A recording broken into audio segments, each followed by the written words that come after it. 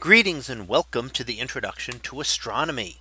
One of the things that I like to do in each of my introductory astronomy classes is to begin the class with the astronomy picture of the day from the NASA website that is apod.nasa.gov apod. And today's picture for September the 30th of 2020. Well, it is titled Sonified Eagle Nebula Pillars. So what do we see here? Well, this is a way to listen to an image. And what you'll see uh, when I play the video in a minute is you'll see a line, a vertical line going straight up and you'll watch that move across. And just to the right of the line is an area that shows the sound wave and shows the intensity of the image at that point. So when it passes a bright star or another image, it will change the tone of the sound that you hear. So it'll start out very quiet and then it will pick up and you'll hear the bleeps as you get through each of the stars in the image. And then you'll hear the details as you go through the pillars within the Eagle Nebula. So what does it sound like? Well, it actually makes no sound. The Eagle Nebula is way too diffuse to really make any kinds of sounds. But it's another way of being able to examine it in a different method. So I'm going to go ahead and play the video and the first time through I will not talk over the sound. So let's go ahead and play the video.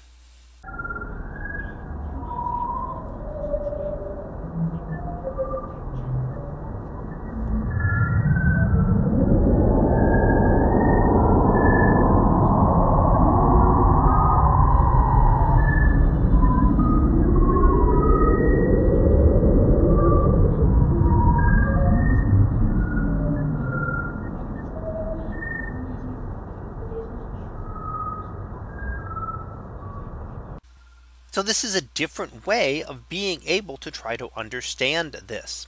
Now what we're actually seeing here is a star formation region and we see a bright cluster of stars up towards the top and the ultraviolet light from these stars is eating away at the gas and dust that is still forming stars below. The denser areas remain leaving these fingers or pillars pointing up towards the bright stars.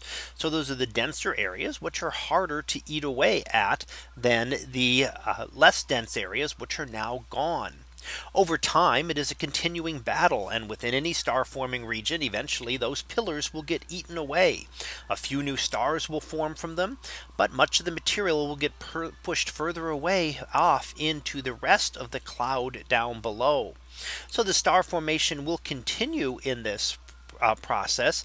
But what we see in things like this are only very transient features. So only temporarily seen and we don't see them continuously. Uh, they will change over time. Not not over our lifetime, but over many thousands, tens of thousands, hundreds of thousands of years. They will slowly change as that ultraviolet radiation eats away at the stars, the, the stars and the gas and dust that we see. So it is the way we're looking at it here using the uh, sonification of this is just a way to be able to view this, think about it in a different manner.